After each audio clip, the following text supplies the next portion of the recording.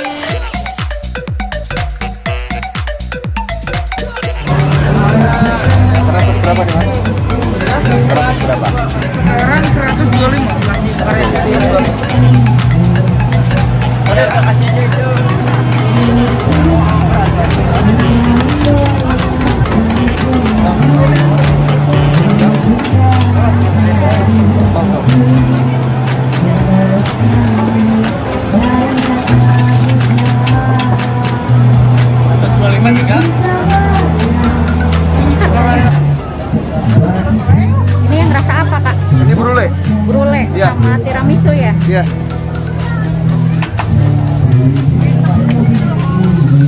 Sampai jam berapa di sini? Sampai jam 11. Jadi ini pesannya kayak gini ya? Berapa pesennya seporsinya? Gini satu porsinya tuh 25 ribu 25.000. Aku pesen 4 porsi deh. 4, 4 box berat Oh, ya berat 25.000 itu satu box ya? Satu box isinya dua Ah, ya udah. Yang best seller aja. Tapi rasanya paling tinggal di tiramisu, cheese sama coko Ya nggak apa-apa. Dibikin 4 box Ah. Boleh atas namanya Maria ya. Boleh Berapa lama kira-kira? Estimasi kurang lebih satu jam setengah lah Oke guys, aku udah sampai di rumah. Tadi ngantrinya luar biasa. Itu by the way, pan and cake ini lagi rame banget di TikTok. Makanya tadi aku kepo seenak apa sih? Gak akan mungkin dimakan di sana. Jadi aku kepaksa tadi bawa pulang aja ya. Makan di rumah. Tadi aku pesan 4 porsi kita eksekusi nih kayak apa rasanya sampai serame itu antrinya gila banget sampai berjam-jam ya kalian harus rela antri kalau mau beli di sana ya let's go kita eksekusi girls ini yang rasa coklat kayaknya sama cream cheese ya kita cobain rasanya seperti apa? Ini harusnya pas lagi panas banget ya di, di dimakannya gitu. Jadi biar kerasa sensasi kelembutannya gitu. Ini kan by the way pancake ini pancake Jepang. Ini kalau di Jepang udah lumrah banget ya. Ini yang keju ternyata ya. Ini kejunya by the way plaknya. Agak asin plaknya tapi ini enak gitu ya nggak enak plaknya kita cobain yang keju ya ini ya.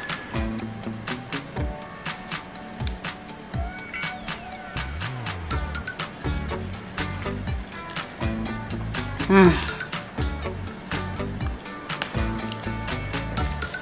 Pantas viral ini. Pantas pantas.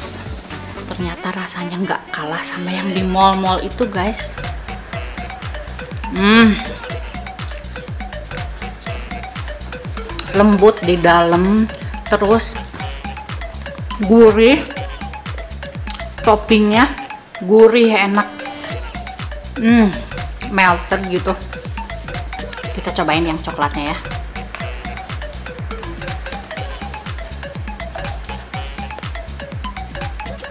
Hmm jatuh hmm. Hmm.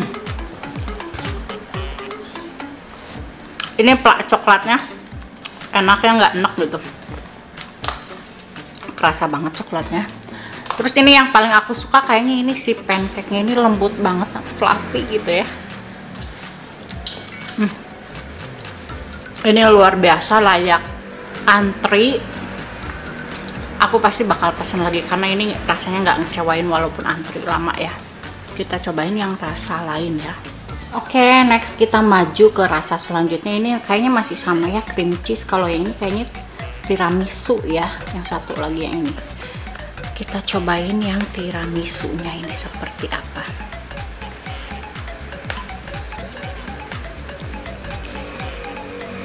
Hmm.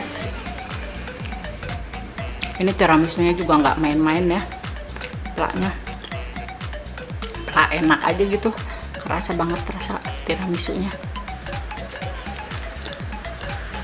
bukan plak murahan yang bikin enak gitu ya ini cocok banget kalau street food kata aku sekelas kayak gini rasanya bisa bersaing dengan yang ada di mall-mall gitu guys hmm. Juara ini kayaknya dari keempat empat dusnya semua tiramisu, cream cheese sama coklat ya. Tadi aku lihat boba, kayaknya bobanya udah habis makanya nggak kebagian kayaknya ini guys. Ya udah ini juga endol ya.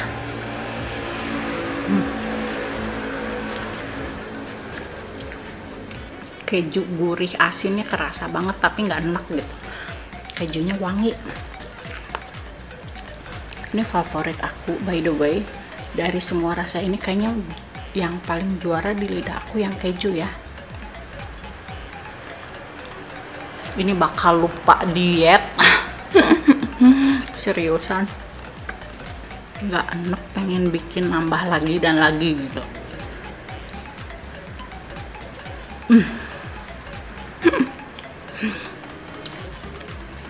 Juara pelapi banget ini lembut gitu. Pas di mulut tuh pesta antara keju dan cake yang lembut hmm. oke okay guys aku mau terusin makannya. Buat kalian yang mau coba ini di Jalan Lengkong. Bisa jadi salah satu referensi buat cemilan snack time kayaknya ya dessert semacam yang manis-manis gitu ya dimakan di sore hari atau cemilan kapan aja kayaknya ini oke. Okay. makasih banyak buat teman-teman yang dari tadi nyimak sampai selesai.